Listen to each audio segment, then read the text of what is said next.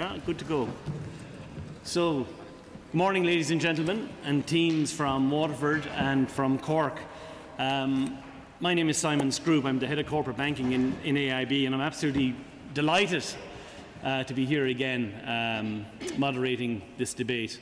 I was here last year, and, uh, and it was a great afternoon. Um, if I remember correctly, I think it was UCD came away with the honours uh, this time last year.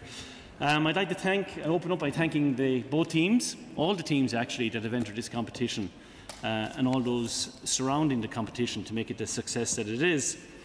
Um, let me start by introducing the topic. Farm supports drive sustainable agriculture. And the two teams taking uh, part in the debate are University College Cork and Waterford IT on either side of me. Proposing the motion are the team from Cork and opposing the motion are the team from Waterford. Now, it's important to remember that the stance taken by the teams are the positions they've been assigned by random draw and do not necessarily reflect their personal point of view.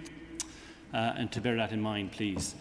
Uh, we have three judges today. May I introduce the three of them? They're spread throughout the audience there because they are not allowed to confer. Um, Dr. Pamela Byrne uh, is the CEO of the Food Safety Authority of Ireland. Prior to taking up this position, in March 2015, Dr. Byrne held the role of Director of Regulatory Policy and Intelligence with Abbott Nutrition, having previously held senior positions in the Ministry of Agriculture, Food and the Marine. Dr. Byrne has extensive experience of the food regulatory environment as well as expertise in risk assessment and food safety management at both national and international levels. And between the speakers, I'll tell you a little bit more about Dr. Byrne because uh, I need to run down the clock for a couple of minutes as the judges get their thoughts in order. The second um, member of the judging panel is Dr. Cathal O'Connor. He's a director of AIB Corporate Banking. I don't know the man at all. He turns up now and then, um, mostly at the end of the month to collect the paycheck. But he's a director of AIB Corporate Banking. He does lead a very uh, large business and has huge responsibility for the food and agri and healthcare sector in AIB, which is one of the largest sectors um, from a banking perspective whom we service. And I'll tell you a little bit more about Dr. O'Connor later as well. And finally, the third member of the judging panel is Dr. Ronan Clinton. Lots of doctors around today of uh, Ernst & Young. I'm, I'm only been um, trying to be funny. Uh, Ronan and Carl are not doctors, uh, they're nurses. Providing, Ronan provides audit and insurance services to large multinational, private and fast growth businesses in Ireland and internationally. And there's loads more to tell you about Ronan later on as well. Now, the regulatory part of all of this today, I need to run through the rules in case there's any debate following the debate. Um, the three judges here today will mark each speaker independently. The speakers have already been made aware of the scoring criteria and the judges' sheets will be gathered up and totalled and the winning team will be passed back to myself, um, similar to the previous debate. Um, the three judges, after completing their score sheets, uh, score sheets will retire to select the best speaker, uh, who may not actually come from the winning team. So each speaker will speak for a maximum of four minutes only, but it is not necessarily to have any minimum length speech, okay? Um, after the one minute bell, um, sorry, I'm, I'm making a mess of this now. I'm being clumsy with my English. After one minute, a bell will ring. And again, after three minutes, a bell will ring to indicate that there's one minute left. After four minutes, the bell will ring for a third time. So there's mucho bell ringing here. And who better to ring the bell than Fran? So thank you, Fran, with your bell. Do you want to give us a little? That's the bell. thank you, Fran.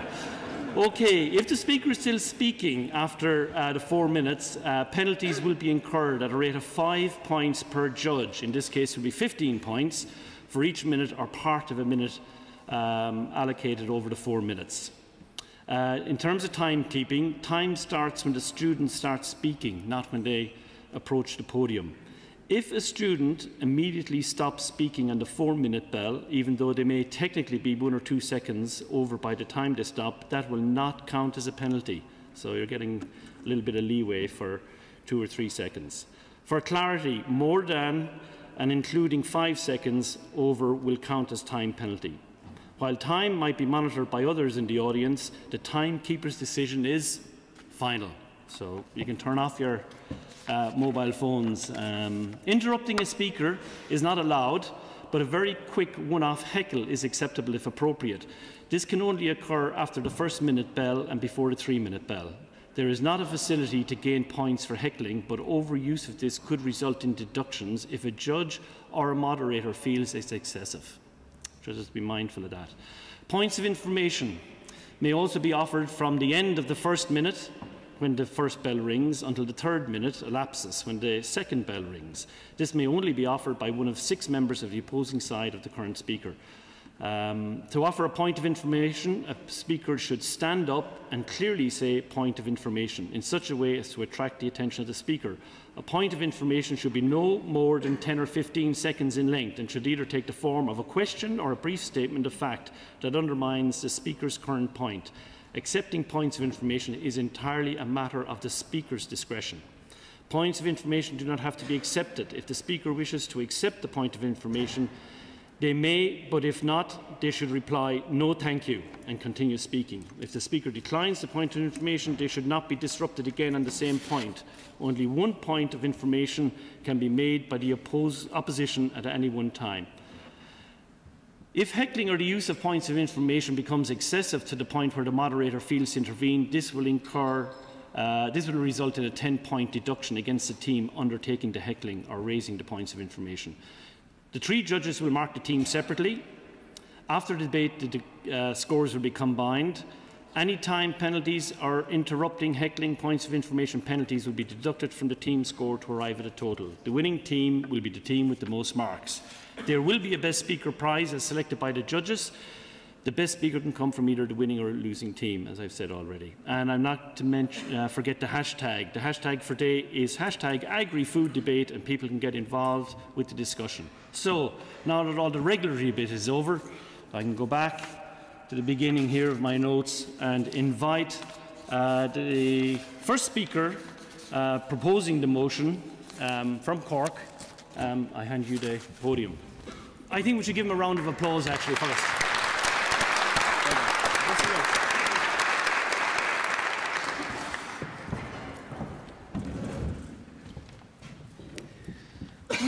a good morning, a good evening and a good afternoon in the last debate. I think it's safe to say good afternoon at this stage. Chairperson, adjudicators, opposition, distinguished guests. My name is Meg Minahan and our team from UCC is delighted to be here today proposing the motion that farm supports drive sustainable agriculture. Sustainability is the goal to meet social demands in the present without compromising the ability for future generations to meet their own. We are going to highlight for you the importance of farm supports as a foundation of the three pillars of sustainability economic, social, and of course environmental. A source of these supports includes the EU Common Agriculture Policy. We expect that the opposition will be discussing past flaws and failures of the CAP. However, ladies and gentlemen, we wish to emphasise the message in this motion that farm supports drive sustainable agriculture. The EU have recognised these flaws and have now set the wheels in motion for this drive towards sustainability. CAP has contributed well over 50 billion euro to Irish agriculture, leading to our wide availability of safe, sustainable, affordable food, which is accessible to everybody in our society as well as producing a massive food surplus, the export of which is critically important to the Irish economy. The first pillar of sustainability in any country is economic, and David Sweetnam will elaborate more on this. How do farm supports drive the economic sustainability of Irish agriculture? We may, ladies and gentlemen, be hearing a lot from the opposition about systems in place some 12,000 miles away. However, we must assess the value of these supports in an Irish context. There is a price consumers expect to pay for food, and there is a cost of production. This cost of production now exceeds that of the product and has been this way since the early 90s. Price stability is an essential for the consumer, especially to more vulnerable groups in society. How can we give Irish farmers a fair price for a fair day's work in this system, if not through farm supports? You will also hear from David on the second pillar, social sustainability. How do supports benefit Irish society? A society and culture which defines who we are and the values that we hold. A society, culture and landscape which attracts tourists from all corners of the globe, and revenue from tourism reached 6 billion in 2018. And finally, our third fundamental pillar, environmental sustainability. The world must urgently reduce its carbon emissions and halt the catastrophic progression of climate change. My teammate Kate Rogers will explain how, through well supported agriculture, we are leading the way in low emission food production, and EU CAP reforms are driving this further still. Ladies and gentlemen, farm supports drive sustainable agriculture. David and Kate will take you through the many ways in which this rings true for everybody in this room. I urge you to uphold this motion as supports uphold our sustainability. Thank you.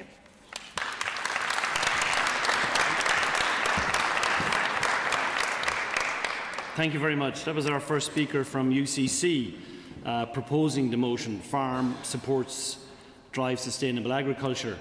Um, before we invite the opposition, the opening um, uh, opposing speaker, may I just tell you a little bit about one of our sponsors today. The main sponsor of today's event is Dawn Meats. Um, and this event would not happen except for the generosity of that organisation. Dawn Meats is a supplier of choice to a range of leading supermarket, food service and restaurant businesses, exporting to more than 50 countries.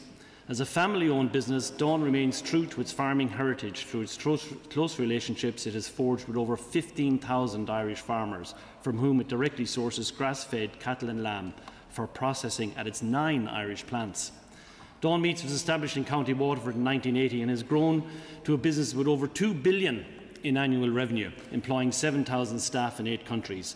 The company works with some of the world's leading food companies who are attracted by a commitment to sustainability and quality. Dawn Meats is a winner of IBEC Environmental Business Process Award, Bord Bia and the SEAI Sustainability Awards.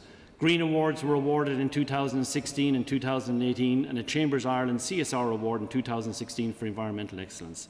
Dawn Meats was also awarded Gold Stars at the Great, Great Taste Awards um, more recently. Can we give a round of applause, please, to the sponsors of today's event? Thank you. Are the judges okay? Judges okay. So it gives me great pleasure to introduce the opposition speaker from Waterford. Please. Yeah. Thank you.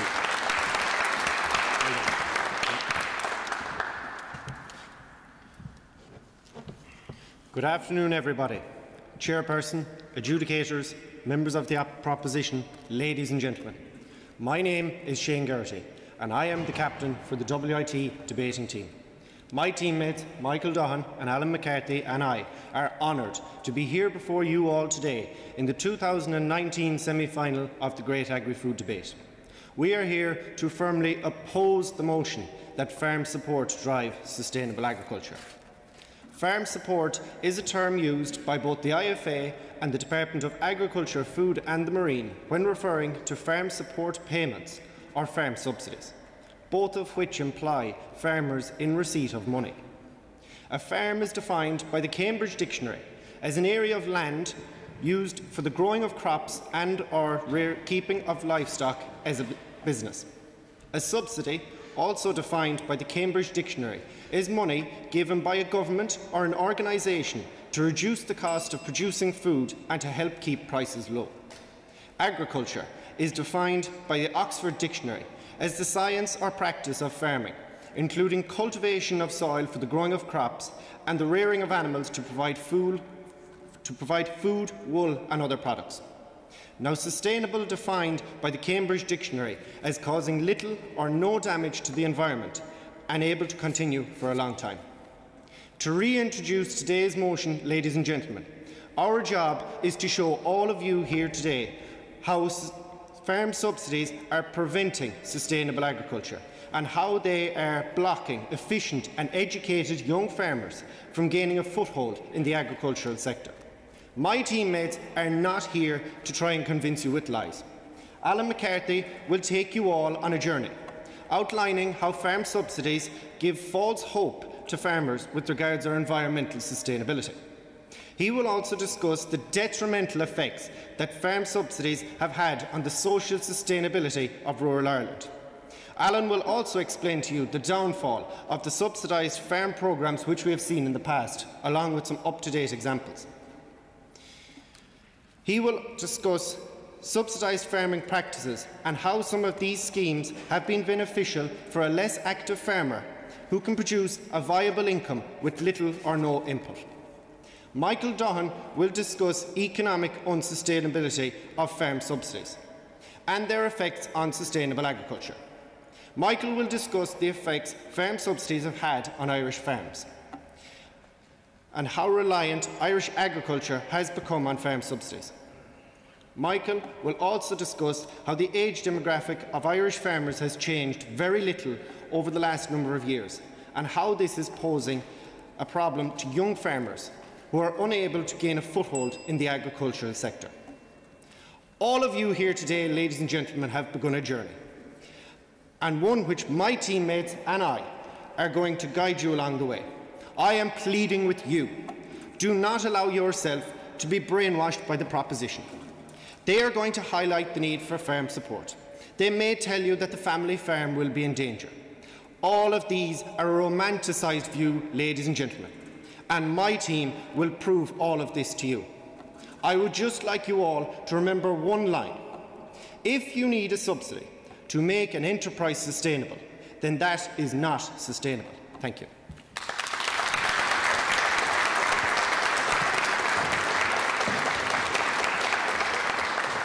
Well done. Thank you. Right, we're getting into the meat of this thing now. Uh, I have a funny feeling we're going to have points of information cropping up over the next uh, couple of minutes. Um, don't be afraid. Um, so thank you very much. Um, the, before we go to the next speaker, also hailing from um, Waterford, um, just a few words on the second sponsor of, of today's event, and that's McDonald's Ireland. There are 91 McDonald's restaurants here in Ireland, 90% of which are owned by franchisees. It was first established in 1977. If I remember correctly, uh, it was at Grafton Street uh, when they opened their first shop, but it has since grown its workforce to more than 5,000 people here in Ireland. All McDonald's beef, bacon, milk, cheese, water and eggs are 100% Irish. McDonald's Europe is the single largest purchaser of Irish beef by volume and one in every five hamburgers sold in McDonald's across the European continent every year comes from Ireland. The company also exports Irish dairy produce, bacon and eggs into the McDonald's system internationally.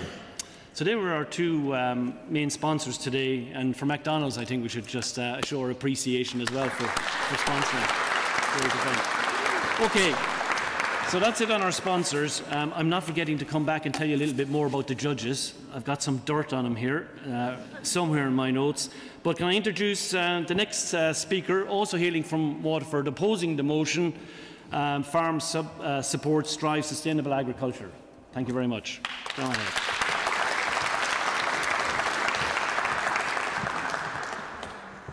Good afternoon, ladies, gentlemen, adjudicators and members of the opposition. My name is Alan McCarthy and I am here today to examine the social and environmental sustainability and demonstrate and demonstrate that farm subsidies are not the driver but in fact are doing the complete opposite for sustainable agriculture. Farm subsidies, do they drive sustainable agriculture? Why most certainly not, even if they are managed correctly and fairly. In fact, farm subsidies are laying down the tarmac and driving on and supporting inefficient use of land. For those of you here today from the Midlands and the East Coast, I'm sure you are well aware of the 5,000 acres of common land, more commonly known as the Curragh. Farmers in these regions are getting a cheque for doing very little with the land when it could be used for pig, poultry and other sustainable enterprises. Can you blame the farmer for availing of farm subsidies using a paper solution for an unsustainable problem? Why, most certainly not. Each and every farmer has to do exactly what it says in the tin to gain their farm subsidies, which is to keep the land in good agricultural condition. A speckled piebald pony will do the trick. To farm sustainably, there must be a fair price paid for food that is produced of the highest quality and a premium paid for a product which has been so carefully managed. I would much prefer to get 10 cents per kilo more on a premium for the quality of milk that I produce than to get 10 cents for a sapling that more than likely will be destroyed by either man or beast. So, in an age of technology and advisory knowledge, why agriculture can be sustainable by diversifying one's own enterprise to gain the most for the resources they have. Point of information. Where are they getting this capital from? That is a very good point, but my team of supersonic scientists will deal with that in a minute. the opposition have said to you all that farm subsidies drive environmentally sustainable agriculture. Well, let me tell you the facts, ladies and gentlemen. Farm subsidies, by their nature, are restrictive. Look at the lifespan of REPS and EOS and the likes. They last for five years at best. Restricted and sustainable are, restrict- are contradiction in terms. Sustainably, previously outlined by Shane, refers to causing little or no damage to the environment, therefore able to continue for a long time, while restricted means not allowing to flourish or prosper. These schemes were designed to increase biodiversity and help Mother Nature get back on her feet once again. Can anybody tell me what happened when these schemes were terminated? I'll tell you. Mother Nature got swept off her feet, set aside, ploughed in. Is that sustainable agriculture? I don't think so. For all you Greenpeace keepers here today, I think you have all forgotten the real meaning of sustainable agriculture. It goes back to utilisation and using the available resources around you. Take the beef farmer rearing beef for Bobby the butcher, or you, the customer, spending a penny in Peggy's post office. Where has it all went wrong? I'll tell you. Buttering up agriculture into something it's not. If you go back 50 years ago, people worked in perfect harmony with nature and money was evenly distributed throughout the local economy. It is a sad state of affairs when the local GAA club is finding it hard to field, our Peggy's post office is closing down, rural jobs are beginning to dwindle, and our young people must move away to urban hubs and find work to earn money just to give it to the landlord in overpriced accommodation. So let's stand back and watch sustainable agriculture stand on its own two feet once again. Thank you.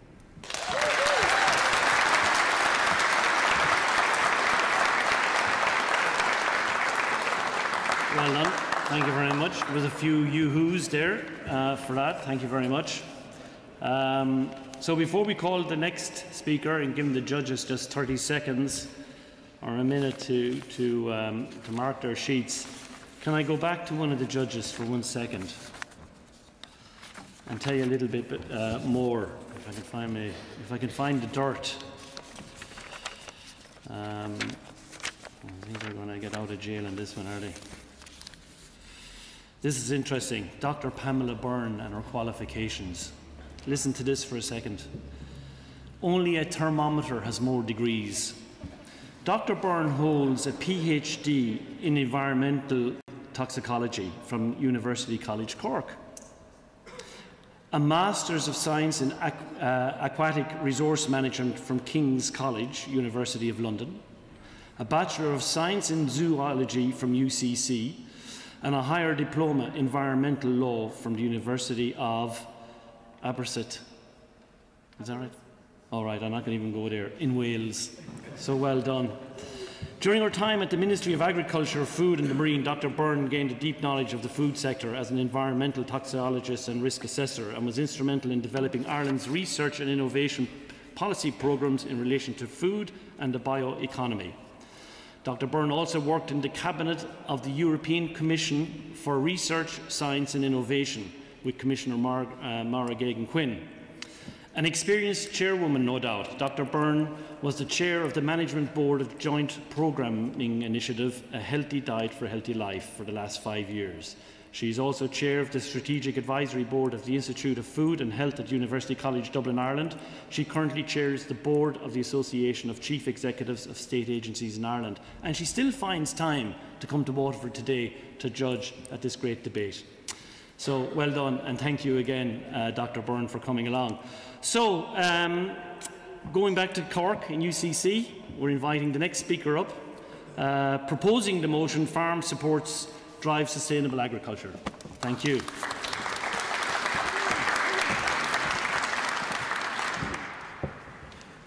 Ladies and gentlemen, my name is David Sweetnam, and I'm delighted to be here today for the Great Agri-Food debate. First, let me reintroduce today's motion, because frankly, I think the opposition actually supported our motion in the end of the Speaker's two, Speaker 2's argument. Farm supports are a key driver to sustainable agriculture, and I'm going to demonstrate this to you in terms of the social and economic pillars of sustainability.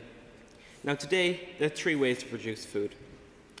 Option one, we forget about sustainability and regulations altogether.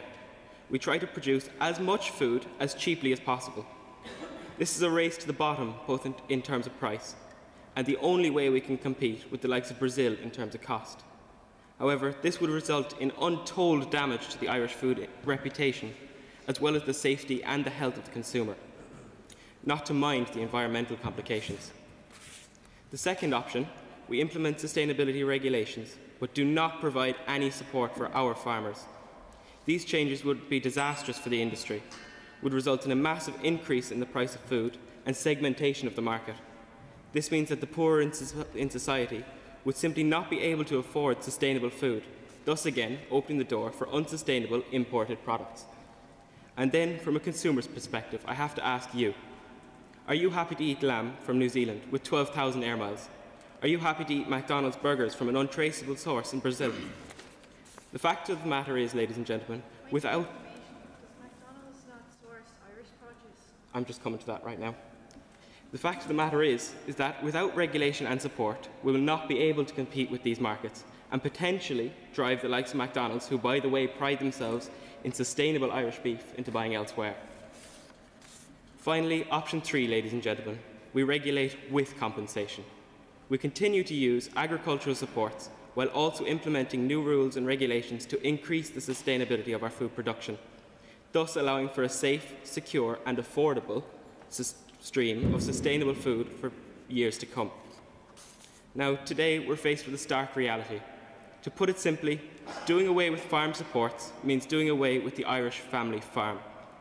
I'll give you an example. If you travel down from Tralee to Dingle in County Kerry, you'll pass a small laneway. One of thousands just, all, just like this are all around the country. Along this laneway, maybe two miles long, you'll pass one beef farmer at the bottom of the mountain where the land is just about good enough to farm and five sheep farmers. That's six families all living off the land, producing high quality meat and making a living. But you see, these families rely on supports. If the CAP was to be removed in the morning, these families would all be forced to find other jobs. With little to no public transport in these isolated areas, they'd have to move out of their homes, move to the cities.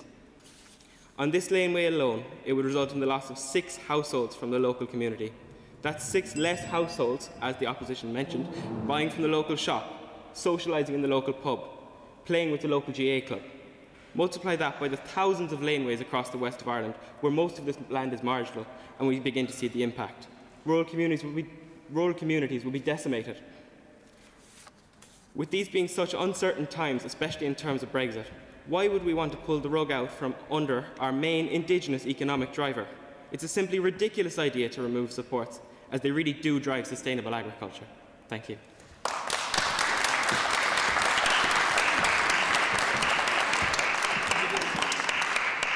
Thank you very much.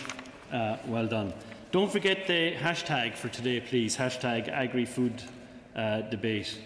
So um, while the judges are frantically um, marking their sheets, let me tell you a little bit about the next judge that's on the panel today, uh, Cathal O'Connor, Director in AIB Corporate Banking. Now, Cathal is a great man. Listen to this. He's over 22 years extensive corporate banking experience, both domestically and internationally. Now, in previous roles, Cathal was the director of AIB's Australian business. We shut that down when Cathal left it. He was head of AIB's corporate finance business. Uh, we shut that down when he left it and has worked in AIB's international corporate banking unit. Never really recovered from Cathal, actually. You can see the trend here, uh, being continuously encouraging Cathal to take up judging of debating competitions in third level for quite a while now. Um, more seriously, he does have a very important role. Apart from his job in the bank, he chairs the Inter Alpha group of European banks, um, which is um, representing Ireland and AIB on, um, on a council of, of, um, of banks spread across Europe that would have similar interests. And he recently returned from INSEAD in France. He's a proud dad that has two girls, aged 8 and 12. So the judges are still writing, which brings me to the third and final judge, Ronan Clinton. Don't worry, Ronan is getting a bit, getting worried there, Ronan. Um, Ronan has a particular interest in entrepreneurial, fast-growing and family businesses expanding both nationally and internationally. And he's worked with a wide variety of customers, clients, and has significant experience in manufacturing, retail, distribution, professional services and technology sectors. He's managing partner of EY in Waterford. So thank you again, judging panel, for coming along. Okay, so that's the filler. Um, we're going to our next speaker, opposing the motion, Farm Supports Drive Sustainable Agriculture, all the way from Waterford. Um, here we go. Give him a round of applause, please. Thank you, Michael.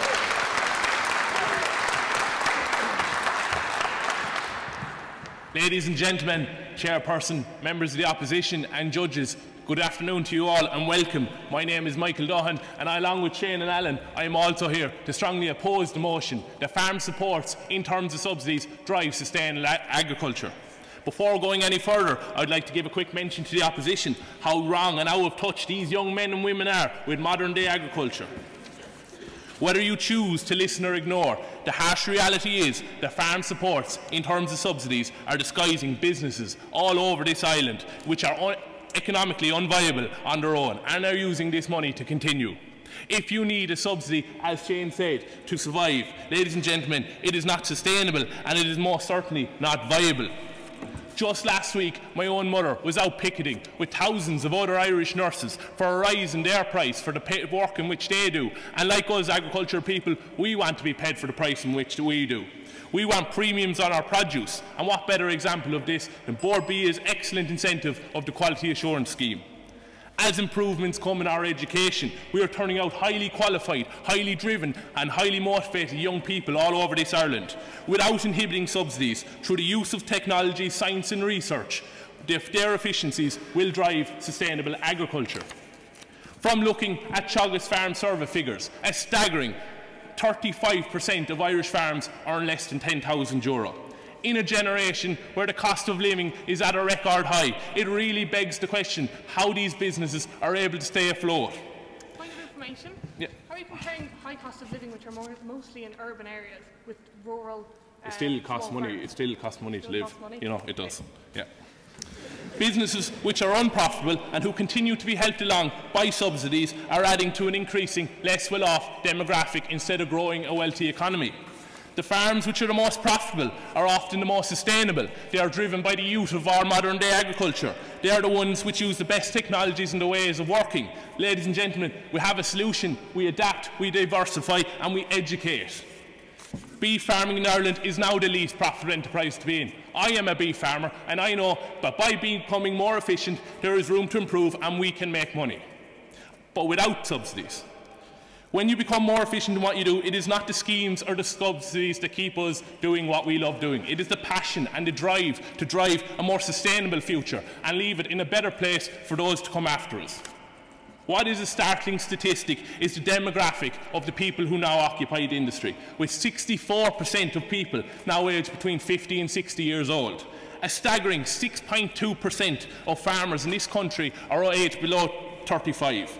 Land mobility on this, island, on this island of Ireland is a huge issue, and young people have, cannot get access to land.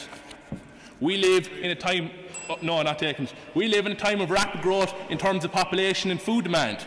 It is up to the youth, like those in front of me here today, to drive sustainable agriculture without inhibiting subsidies. And as just as I think it is now, during the season that's in it, as I sit in my grandmother's living room watching cows preparing themselves to calve, we all face times of uncertainty in our lives. And yet again, and on other screens in our kitchens, we listen to Theresa May harping on, yet again failing to deliver another resolution for the people of her country. But ladies and gentlemen, let me, ladies and gentlemen, don't let the proposing team tell you differently, and that I am certain about, and that is that farm supports and farm subsidies will not and will never drive sustainable agriculture. Thank you.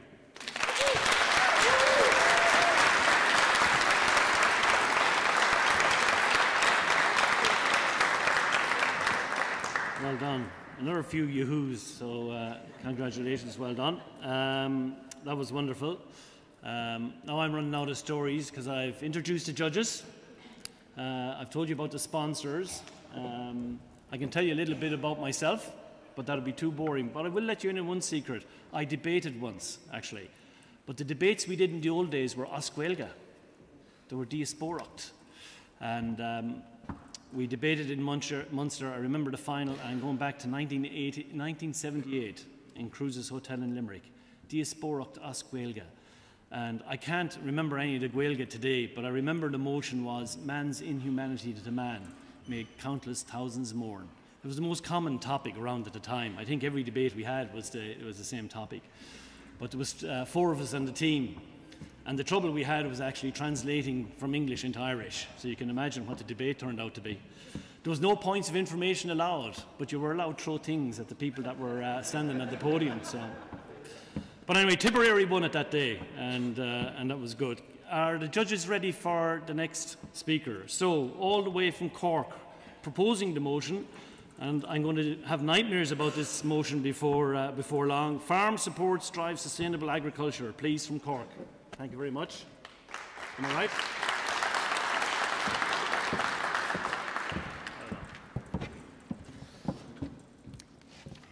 Ladies and gentlemen, I am Kate Rogers, and I'm delighted to be here today at the Great Agri-Food Debate. Today, I would like to address the final pillar of sustainability and debatably the most important pillar, and that is environmental sustainability.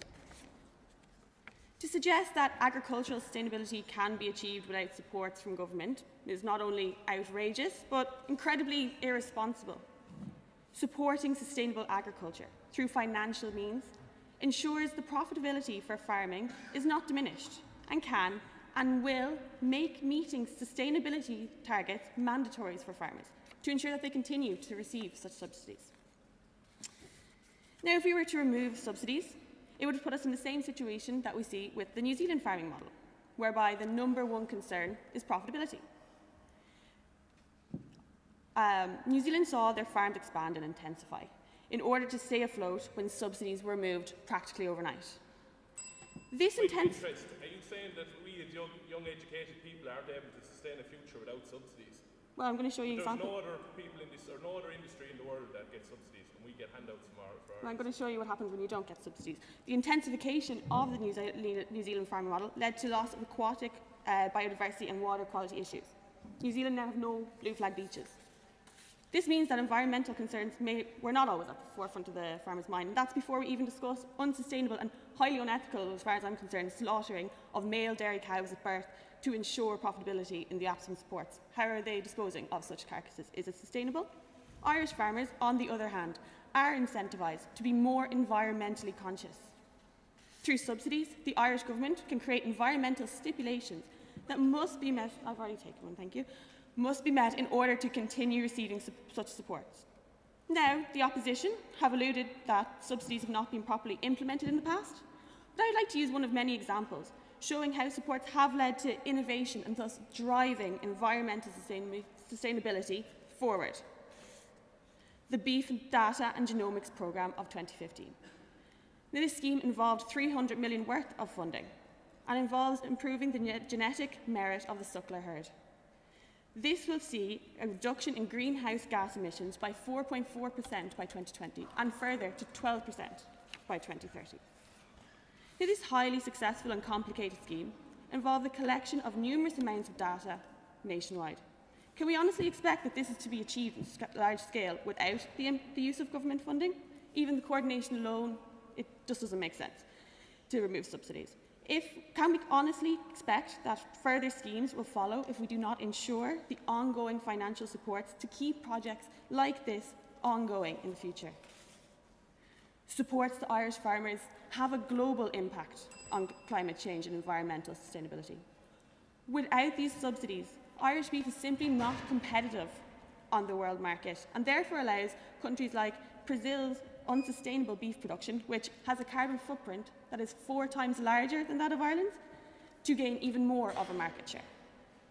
If this was to happen, it would increase the net global emissions, known as carbon leakage.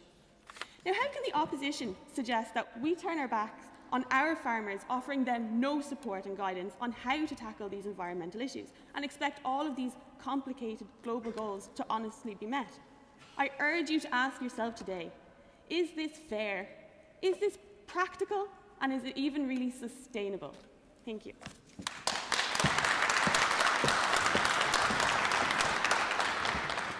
Thank you very much. Well done.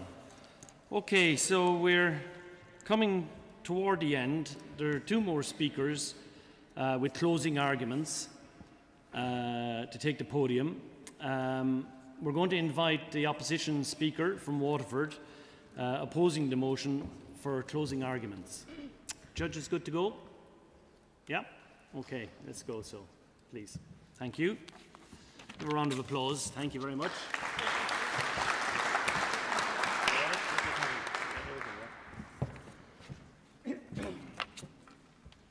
Ladies and gentlemen, distinguished guests, farm supports do drive sustainable agriculture. We, the proposition, have highlighted the three pillars of sustainability are all driven by farm supports. The first pillar is economic. To reiterate, there are three ways to produce food. One, unregulated production, and you can forget about sustainability. Two, regulated, uncompensated production, causing disastrous increase in food prices. Or three, the effective, sustainable system in place, regulated, compensated production. Whether or not the UK government can agree on anything, but specifically to extend Article 50, Brexit is looming, and its importance for our agriculture industry is critical. A further dramatic fall in the value of sterling could make us less competitive. Removal of supports could be the last straw. Farm supports drive economically sustainable agriculture. The second pillar is social. Speaker 1 is of the opinion that romantic Ireland is dead and gone. However, farm supports are the lifeblood of rural Ireland. Members of the opposition are livestock farmers themselves, as they have stated. Removal of farm supports would drive one thing certainly, and that is the demolition of rural social structure. Point of interest. Why is there only 6.2% of farmers in Ireland under the age of 35 who start farm sports work? What's the, sorry, repeat the question. Why is there only 6.2% of Irish farmers under the age of 35 if farm subsidies Is that relevant to the point I just made? Yeah, you're saying that farm supports No. The third and final pillar is environmental. We must continue to reduce the impact of agriculture on the environment, and this is being driven by supports. The government has the power to conditionally award supports based on the meeting of environmental standards and stipulations. David mentioned that a removal of supports and increased cost of Irish beef would drive both countries and multinationals to seek cheaper products for their consumer. Paul Nolan of Dawn Meats has proudly informed us over the last couple of days that one in five McDonald's burgers consumed in Europe are Irish. And these burgers, we, a lot of uh, Irish McDonald's burgers are being made down the road in a Dawn Meats factory in Waterford, creating employment as Dawn Meats are looking for young Irish graduates. So farm supports by extension do create jobs for young Irish ag students, food, food industry professionals. Our beef sector is one of the lowest carbon emitters in the EU. Therefore, it is imperative not only economically but environmentally that our beef prices remain competitive to McDonald's and to others. Looking forward, the EU are moving towards a common food policy as another avenue to drive sustainability in agriculture and food systems. This opens up plenty of opportunities for further CAP reform and brings together agriculture sector, food industry and people to create synergies in environmentally sustainable food supplies. Farm supports drive environmentally sustainable agriculture. Farm supports drive sustainable agriculture. Thank you.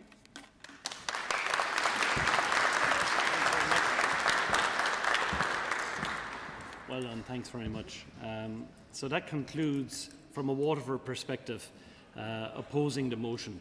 So the final speaker, yeah, you all right? Sorry. So the final speaker today hails from uh, UCC, proposing the motion. I beg your pardon? Oh, I beg your pardon. I'm, I'm terribly sorry. I got my notes wrong here. Uh, I, be, I, I beg your pardon. Uh, sorry about that now. That's my clumsiness here. Um, so WIT, yeah? Did I get that right? Okay. Fran, give an all ring of the bell there. Thank you very much. We'll invite WIT's final speaker. Sorry about that.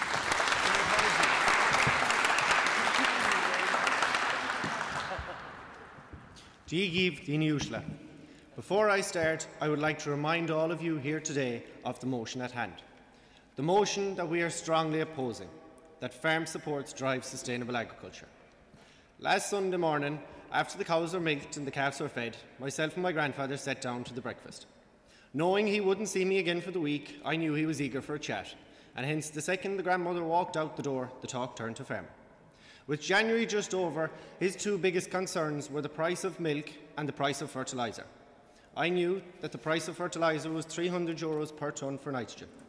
I told him and I put him out of his misery, and we both began the same process, trying to figure out where we would put the few pounds together to buy our fertiliser. We both agreed there wouldn't be much left out of the milk check, barely enough to buy the grandmother her birthday present. He then reminded me, as he so often does, in 1984 he brought milk to the creamery and received 23 pence per litre. On his way home, he stopped off and bought a tonne of nitrogen for 147 pounds. That man reared and sent six children through education. In today's world, the price received in 1984 is €1 euro and 8 cents per litre, while January's milk price was 32 cents per litre. No thank you, I'm closing. During our, your journey with us today, Alan has demonstrated to you all how our government have used farm subsidies to hide behind while neglecting rural Ireland. Alan referred to Peggy's Post Office. Ladies and gentlemen, since 1992, 800 post offices in this country have closed. Now, had there been a young, vibrant and entrepreneurial young farmer in the area requiring their services, I highly doubt this problem would have happened. Michael educated you all the very relevant facts and figures relating to the demographic of our farmers and the problems that this is having on the sustainability of the industry. Michael told you all the disgraceful income Irish farmers are making, with 35% earning less than 10,000 per year. Farmers, the people who during harvest and planting finish their 40-hour week by Tuesday noon, then continue to put in a further 72 hours. Those who will wait up all night with a newborn calf, watch it die, dry their eyes, and then say, maybe next year. The proposition have never once mentioned the pig farmers of this country, farmers who are not subsidised by our government, and the farmers who are recognised within the farming community as being the most efficient users of their resources. Going back to your second speaker, no thank you. Going back to your second speaker, Shane Ross is closing down the pubs. It is not farm supports keeping them open. we pay our people for the services they provide. We paid a taxi driver to bring us home last night. We paid a tailor to fit us with a nice suit. These are not subsidised. They are paid for the services they provide. Why subsidise farmers? All of us here today who hail from a farming background are like myself, proud to be a farmer. So why do we let our dignity be tarnished and disrespected by receiving farm subsidies that could be removed at any stage, instead of getting properly paid for the services we provide and having our own security with our income? The price of our produce needs to increase following that of our inputs. Farmers do not need support. Farmers need and deserve a fair price. I urge you to oppose the motion. Thank you.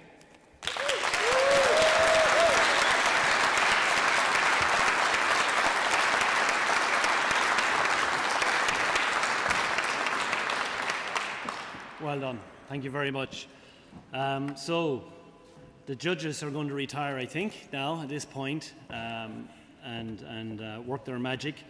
Um, from our perspective here, um, I have to say, from what I heard sitting here, was absolutely tremendous. The way both sets of students could argue their points and articulate them in such a wonderful way. You know, compared to 1978 in Limerick when we were debating as Gaeilge, we've moved on, I can assure you.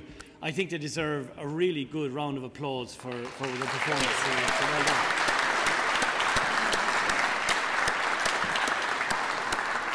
And, um, and the very best of luck to both teams. Now, this is really extraordinary uh, because, um, like the previous debate, uh, there's been a split decision here. One judge was fervently in one camp, second judge fervently in the other camp. And the third judge um, was wavering one way and the other. But it did come down in favour of one team, but it was extremely close. And I really believe that both teams should be very, very proud of what they brought here today. It was, uh, it was one of the most informed, one of the best debates I've seen in quite a while.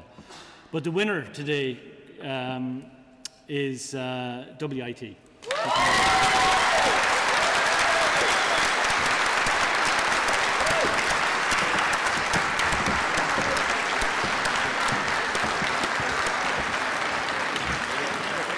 Will you please, will you please give a round of applause to UCC?